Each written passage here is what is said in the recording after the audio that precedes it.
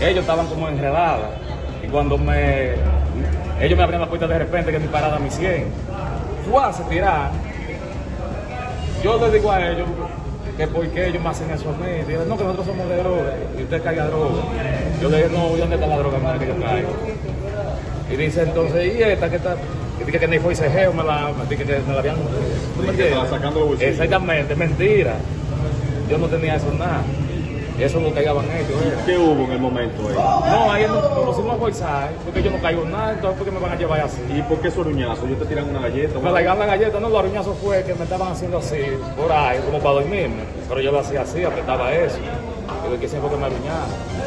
Eso es la DNCD. La NCD ¿Y dónde te capturaron ellos? en Villarreal. En Villarrío. Sí. ¿Qué llamado tú le das a la autoridad? No, yo no quiero joder, yo lo que quiero ya es un peito medio, mi doctor, yo decir lo que tú trabajas. Traitorista. Traitorista. ¿Tú te trasladabas en qué? En un motor 90. ¿Y este persiguieron? Ellos me estaban, ellos estaban, parece como si fuera esperándome. Te mandaron a parar. No, ellos me abrían la puerta así, fue de repente, y me tumban del motor.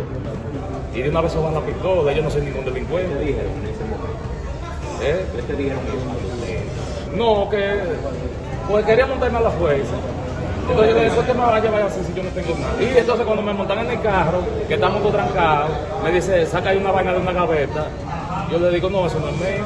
Estaban identificados ellos. Ellos cargaban su chaleco y su vaina, pero no sé decirle si, si eran realmente de la necesidad porque ahora hay mucho tráfico.